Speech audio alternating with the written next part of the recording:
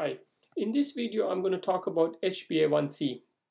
Most people with diabetes would check their blood sugars using finger prick testing. Now the finger prick testing would tell us what your blood sugar was at that point of time and gives us an idea what your blood sugars were like in the last couple of hours.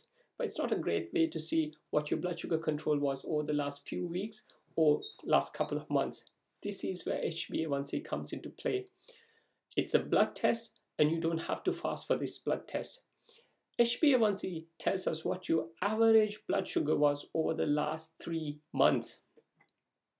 It's a great way of finding whether your overall diabetes control was good or bad. In a non-diabetic, you would expect the HbA1c to be below 42.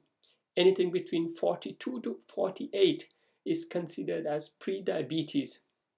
If your HbA1c is above 48, it is generally considered that you have diabetes. There are a small group of people in whom we can't use HbA1c. These are usually people who have certain blood disorders.